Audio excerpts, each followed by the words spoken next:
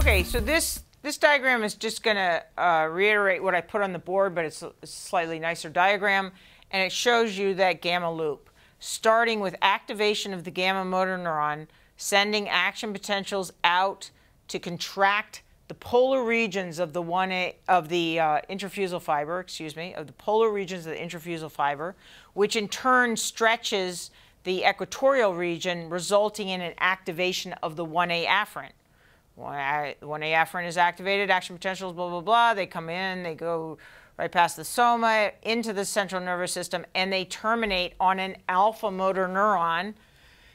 And now there's a synapse here, and then the alpha motor neuron is excited and sends action potentials back out to the extrafusal fiber of the homonymous and synergist muscles. And so now you have this contraction that opposes the stretch. The other thing that this drawing shows you is that all of these axons, the axons coming from the alpha and gamma motor neurons and the axons of the 1A afferents, they're all traveling together in the peripheral nerve. Okay, they come from different routes. The, ve the ventral root contains the motor neuron axons. The dorsal root contains the uh, sensory uh, um, afferents, but then they join together to form a peripheral nerve. So now we're going to take a, a, situation where we're going to do, again, a, a, form of electromyography. So this is, again, uh, EMG reflex testing. And so there will be a recording electrode in a muscle. So a recording, mus a recording electrode out here, it's only going to record the activity of extrafusal fibers. The intrafusal fibers, that, that does not, doesn't make a, a large enough electrical signature to, to be recorded and, um, and we're going to put a stimulating electrode in the nerve.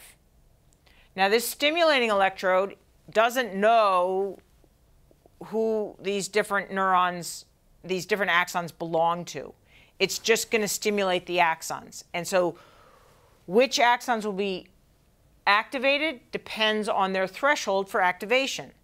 And as it turns out, the threshold for activation for 1A afferents is lower than the threshold of act, for activation of the uh, of the alpha motor neurons, we, that, who, which is the only one we really care about. So the alpha motor neurons, um, or the or the motor neurons in general. Okay, so it, as you increase the stimulus intensity, the first thing that's going to happen is the 1A afferents are going to be excited. They're going to be directly activated by a shock of increasing value. And then you're going to get more and more of them in, uh, activated, and then you're going to cross the threshold for the motor uh, uh, neurons, and now you're going to get those motor neurons excited.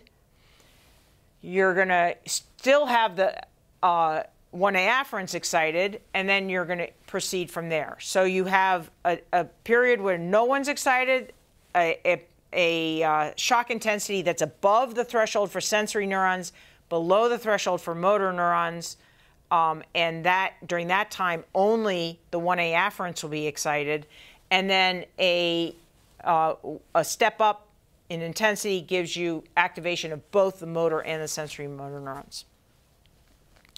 So your assignment is to figure out a few things. So you're going to take that setup where you have an electrode here, it's stimulating the nerve, you are recording the activity of the extrafusal fibers. There will be a, there will be a response when the sensory fibers are activated, and only the sensory fibers are activated, there will be a response. There's another different response when the motor fibers get activated directly. And your first question that I want you to answer is which happens first?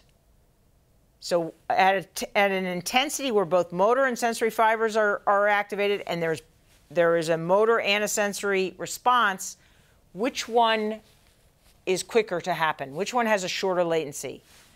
Does the motor response happen before this sensory response or is it vice versa? Okay? Um, Okay, now you're going to try and you're going to remember that axons carry information. They carry uh, action potentials in either direction. If you just plop in in the middle, they're going to carry action potentials in both directions. And so now you're going to you're going to describe what's the pathway by which a, a shock of the sensory activation of sensory neurons produces a response, and what's the pathway by which activation of the motor uh, axons produces a response. Okay? How many synapses are involved in each of those pathways? You're going to realize that, that when an action potential is coming this way, and artificially an action potential is coming in the other way, when they meet, they will collide. Why? Because the refractory period of each will prevent this, this uh, action potential needs to come over here, but this stretch of membrane is in the refractory period from this action potential. So it can't move past it. So, and the same is true. This one can't move past this one. So what? They meet in the middle and no one wins. No one wins. Silence. Nothing gets past that, that collision.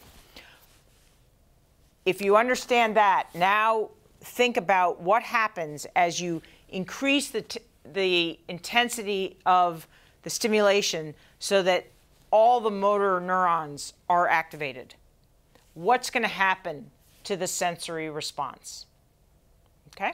In the next uh, video, we're going to move on from the 1A reflex, the ever fascinating 1A reflex, and talk about the 1B reflex.